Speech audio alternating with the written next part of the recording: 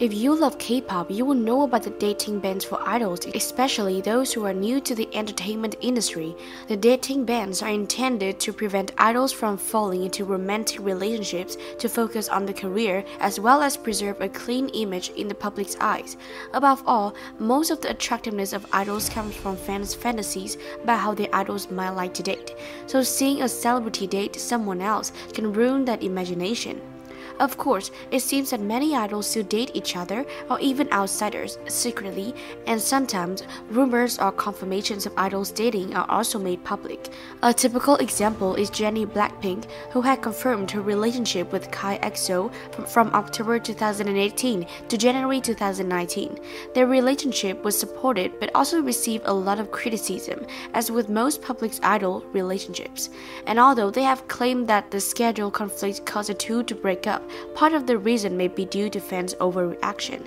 Jennie has had other dating rumors as well, including with producer Teddy Park, Harry Styles, and even Big Bang's Taeyang. All these rumors are strongly opposed by YG Entertainment. The company threatens to take legal action against the spread of them.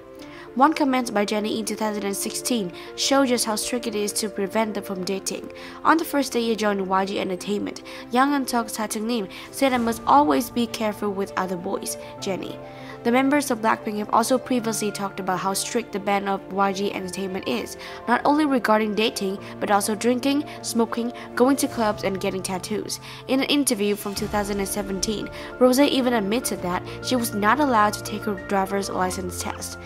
Jisoo also once mentioned how YG avoided dating rumors in 2016. She, along with Lisa and Rose, has hardly any dating scandals due to the company's strict policy of the dating ban.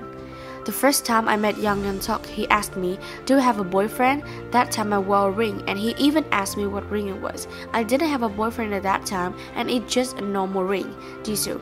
It sounds like YG Entertainment has taken the most extreme measures to prevent dating within the company, where there is the highest possibility that idols can meet each other. Even the trainees' meal times are different. In the YG cafeteria, if the male trainees eat at 6 o'clock, the female trainees will eat at 7, Jisoo. So it's not surprising that girls mostly avoid dating rumors, and it's also hard to see them dating someone.